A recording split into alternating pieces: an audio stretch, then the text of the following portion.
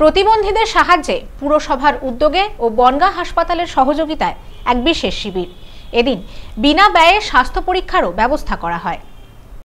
প্রতিবন্ধীদের শারীরিক পরীক্ষা শংসাপত্র প্রদানের জন্য স্ক্রিনিং ক্যাম্প অনুষ্ঠিত হল শুক্রবার।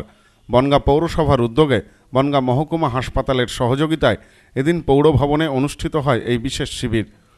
জানা গেছে, শারীরিকভাবে অক্ষম ও প্রতিবন্ধীদের জন্য রাজ্য সরকারের পক্ষ থেকে মানবিক ভাতা দেওয়ার ব্যবস্থা চালু রয়েছে। সরকারি নিয়ম অনুযায়ী এই ভাতা পেতে গেলে দরকার চিকিৎসকের শংসাপত্র। অনেক সময় দীর্ঘদিন ধরে শংসাপত্র জোগাড় করতে না পারার কারণে অনেকেই বঞ্চিত হচ্ছিলেন এই ভাতা থেকে। যারা শারীরিকভাবে প্রতিবন্ধী, সে সকল মানুষের পাশে দাঁড়াতেই এদিন এই বিশেষ শিবিরের আয়োজন করা হয়।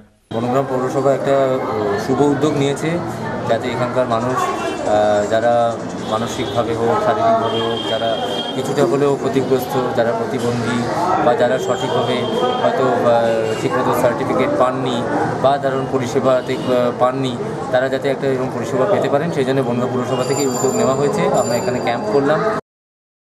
এদিন শিবিরে আসা সমস্ত রোগীদেরই চিকিৎসার প্রয়োজনে রক্ত পরীক্ষা সহ অন্যান্য স্বাস্থ্য পরীক্ষাও বিনা ব্যয়ে করার ব্যবস্থা করা হয় পুরসভার পক্ষ থেকে।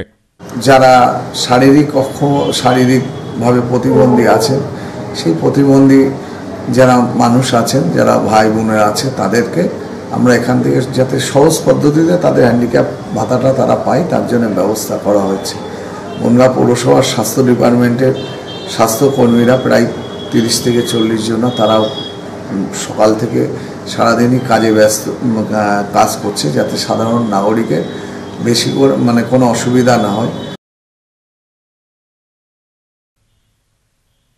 প্রসেনজিৎ ব্যানার্জির রিপোর্ট নিউজ নোম্যান্সল্যান্ড বনগাঁ।